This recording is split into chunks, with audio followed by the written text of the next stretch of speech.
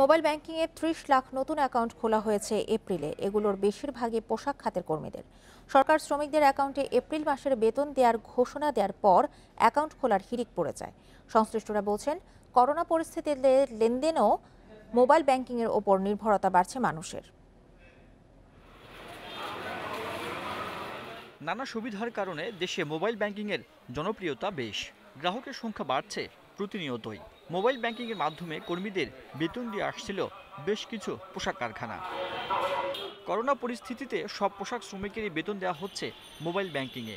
সরকারি প্রণোদনা ঘোষণার পর বেড়েছে অ্যাকাউন্ট খোলার হার। ছয় থেকে পঁচিশ এপ্রিল পর্যন্ত মোবাইল ব্যাংকিংয়ে তিরিশ লাখ নতুন অ্যাকাউন্ট খোলা হয়েছে।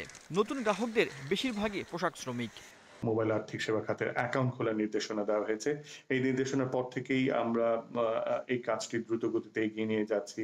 শ্রমিকরা নিজ উদ্যোগে অ্যাকাউন্ট খুলছেন আমরা তাদের সঙ্গে যোগাযোগ করছি যে এই মুহূর্তে আর্থিক প্রণোদনা ছাড় হবে এবং ফ্যাক্টরি কর্তৃপক্ষ আমাদেরকে অ্যাডভাইস করবেন টাকাটি পৌঁছে দেওয়ার জন্য। আমরা এই কাজটি সুচারুভাবে সম্পন্ন করতে পারব বলে আশা রাখছি এবং এর জন্য আমরা সমস্ত প্রস্তুতি নিয়েছি।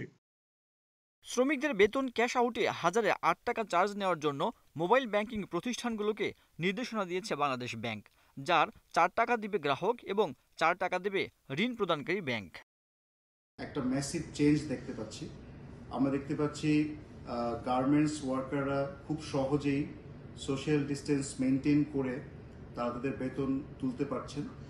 এবং এতে করে এটা যেমন তাদের জন্য সহজলভ্য হয়েছে, একই সাথে গার্মেন্টস মালিকদের জন্য এখন খুব সহজে তারা ব্যাংকের বাইরেও অ্যাম্ফিসের মাধ্যমে সে স্যালারি ডিসবার্স করতে পারছে। নতুন অ্যাকাউন্ট খোলার পাশাপাশি বর্তমান পরিস্থিতিতে বিল পরিশোধ সহ অন্যান্য লেনদেনেও মোবাইল ব্যাংকিংয়ের ব্যবহার বেড়েছে বলে জানিয়েছে সেবাদাতা প্রতিষ্ঠানগুলো। Sajjad Hossain, Independent News, Dhaka.